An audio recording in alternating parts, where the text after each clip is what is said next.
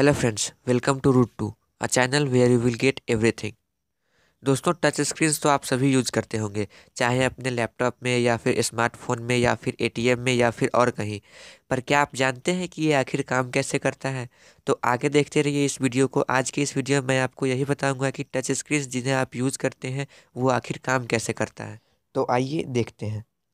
दोस्तों, जो touch screens आप अपने डेली लाइफ में यूज़ करते हैं, वो बेसिकली दो टाइप के होते हैं। पहला रेजिस्टिव टच स्क्रीन और दूसरा capacitive touch screen resistive touch screen का यूज़ आप ज़्यादातर एटीएम में या फिर पॉज मशीन में करते हैं।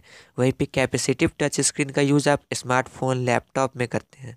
दोस्तों रेजिस्टिव टच स्क्रीन जिनका यूज़ आप एटीएम में करते हैं, वो बेसिक एकदम simplest form of touch screen होता है। उसके काम करने का तरीका सबसे आसान है। बेसिकली रेजिस्टिव टच स्क्रीन्स में दो लेयर्स होते हैं। पहला रेजिस्टिव लेयर जो अंदर की तरफ़ होता है और दूसरा कंडक्टिव लेयर जो बाहर की तरफ़ होता है। और इन दोनों के बीच इंसुलेटर स्पेसर्स लगे होते हैं, जो कि दोनों को एक दूसरे से अलग रखते हैं। अब दोनों लेयर से कंटिन्यू इलेक्ट्रिसिटी फ्लो होते रहता है। पर जब भी आप अपने उंगली से या किसी भी चीज़ से कंडक्टिव लेयर यानी बाहर वाले लेयर को प्रेस करते हैं यहाँ पे मैंने टच करने की बात नहीं की, क्योंकि यहाँ पे टच नहीं, आप जब भी उसे प्रेस करते हैं तो कंडक्टिव लेयर रेजिस्टिव लेयर से जाके टकराता है और करंट का फ्लो वहाँ पे चेंज होता है। फिर स्क्रीन के कॉर्नर्स पे लगे रिसीवर से ये पता लगाया जाता है कि किस कोऑर्डिनेट पे वो वोल्टेज चेंज हुआ है, या फिर करंट चेंज हुआ है। और फिर एक माइक्रोचिप उस समय देखता है कि उस जगह पे कौन सा मेन्यू था और फिर उसे ओके करता है। और आपने जिस चीज़ को टच किया है, वो मेन्यू खुल जाता है। रेजिस्टिव टच स्क्रीन बहुत ही रिलायबल और ड्यूरेबल होते हैं। ये किसी भी वेदर में काम करते हैं, पर इनके साथ एक दिक्कत है कि जब आपको सनी डे में काम करना हो या फिर ज़्यादा रोशनी में ये अच्छे से दिखाई नहीं देते। पर फिर भी आप इन्हें ग्लव्स के थ्रू स्टेलस के थ्रू या फिर किसी भी चीज़ के थ्रू टच कर सकते हैं। पर कैपेसिटिव टच स्क्रीन जिसे आप अपने स्मार्टफ़ोन में यूज़ करते हैं, उसमें ऐसा बिल्कुल नहीं होता।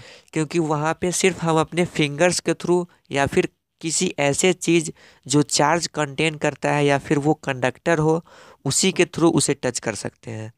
Capacitive touch screen indium tin oxide का बना होता है, जो कि डिस्प्ले के सबसे बाहर की तरफ़ लगा होता है और उसके थ्रू करंट फ्लो करता है। अब जब भी हम उस सरफेस को टच करते हैं तो वहाँ पे एक वोल्टेज ड्रॉप होता है। क्योंकि हमारा जो फिंगर है, वो कंडक्टिव है और जो करेंट फ्लो हो रहा है, उसे एब्जॉर्ब करता है। तो वहाँ से कुछ इलेक्ट्रॉन हमारे शरीर के अंदर ट्रांसफ़र हो जाते हैं। फिर स्क्रीन के कॉर्नर्स पर लगा रिसीवर ये पता करता है कि किस कोऑर्डिनेट पे टच हुआ है या वोल्टेज ड्रॉप हुआ है। और फिर एक माइक्रोचिप ये पता लगाता है कि उस समय वहाँ पे कौन सा सेटिंग या मेन्यू था और फिर उसे क्लिक करता है। पर कैपेसिटिव टच स्क्रीन के साथ ये प्रॉब्लम है कि आप किसी भी ऐसे चीज़ के साथ ही टच कर सकते हैं जो कि कंडक्टर हो, लाइक हमारा उंगली या किसी खास प्रकार के स्टाइलस से। पर आप रेजिस्टिव टच स्क्रीन को किसी भी चीज़ से, पेन से, पेंसिल से, प्लास्टिक से या फिर किसी भी चीज़ से टच कर सकते हैं क्योंकि वहाँ पे आपको प्रेस करना होता है। अगर आप अपने स्मार्टफ़ोन के ग्लास पे कभी भी वाटर ड्रॉप डाल के देखेंगे तो आप पाएँगे कि वहाँ पे अपने आप कहीं कहीं टच होने लगता है। ये इसी कारण कि वाटर कंडक्टर होता है और वो इलेक्ट्रिसिटी कंडक्ट करता है, जिससे जहाँ जहाँ वाटर गिरता है वहाँ वहाँ पे वोल्टेज ड्रॉप होता है और उसके माइक्रोचिप को लगता है कि वहाँ पे आप टच कर रहे हैं।